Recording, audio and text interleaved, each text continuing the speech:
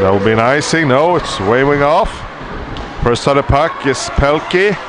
Pelkey. Oh, what a pass! Monique Lamoureux, goal! What a beautiful move! Monique Lamoureux. Feltzer again with eight seconds to go on the power play. Eight seconds. Jocelyn Lamoureux and a low one passing and what a goal! Tic tac toe. Gasta with a shot. Nice angle and the rebound. Emily Clark. Clark with a shot. Spooner on the rebound. Couldn't get a hold of it. There's fast, fast. Plays it over to Krishenyek. Krishenyek. Another shot. It's the face off again. Can they clear it? Here's Lamoureux for Knight. Wide open net for Coyne to score 3 to nothing USA. They will win this game.